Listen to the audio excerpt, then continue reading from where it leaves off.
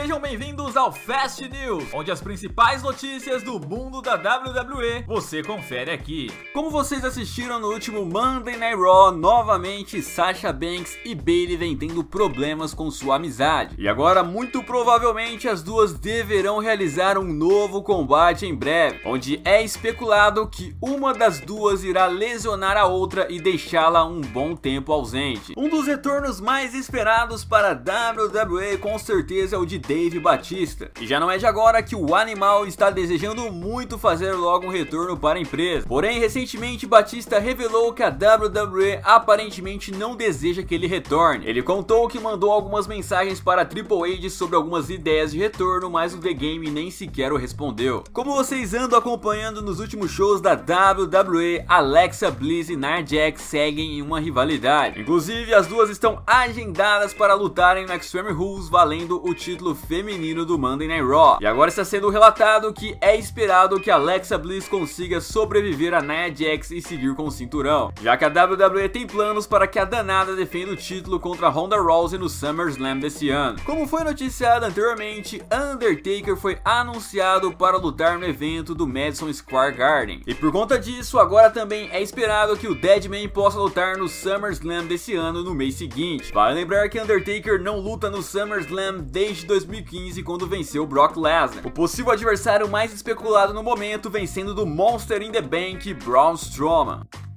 E foi esse o vídeo de hoje, eu espero que vocês tenham gostado, não se esqueça de me seguir nas redes sociais, de se inscrever no canal e deixar o like. Um abraço, até a próxima e fui!